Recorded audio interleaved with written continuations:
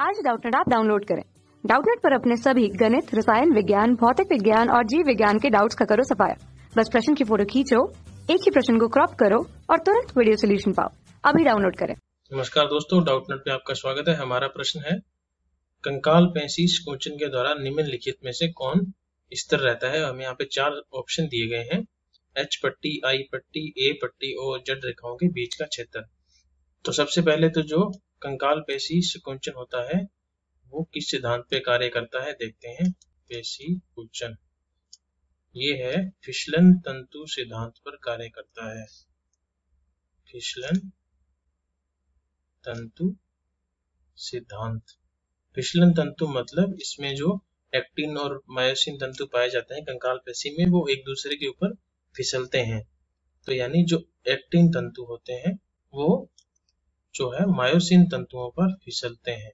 Myosin तंतुओं पर फिसलते हैं या सरकते हैं। तो इसीलिए इस सिद्धांत को क्या बोला जाता है? फिसलन तंतु सिद्धांत, क्योंकि तंतु एक दूसरे के ऊपर फिसलते हैं, ठीक है?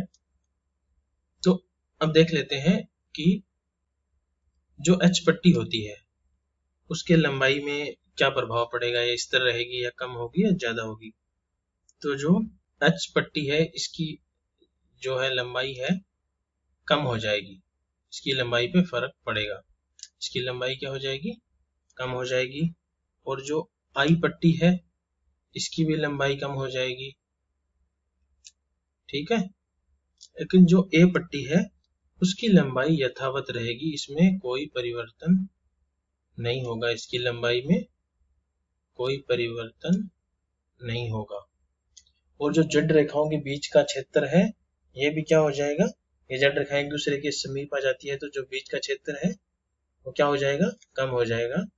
जो बीच का क्षेत्र है, वो क्या हो जाएगा? कम हो जाएगा, क्योंकि एक दूसरे के पास आते हैं संकोचन के टाइम लेकिन जब कोशिका पेशी वापस शीतल होगी तो ये वापस लंबाई बढ़ जाएगी। लेकिन संकोचन के दौरान क्या होता है? जो ए पट्टी होती है, उसकी लंबाई में कोई परिवर्तन नहीं होता, वो स्थिर रहती है। कोई गति भी नहीं करती, उसकी लंबाई में कोई परिवर्तन नहीं होता। तो हमारा आंसर यहाँ पे क्या हो जाएगा? ए पट्टी। धन्यवाद। कक्षा छठी से बारहवीं से लेकर NEET I I T JEE वो एडवांस के लेवल तक। एक करोड़ से ज़्यादा छात्रों का भरोसा।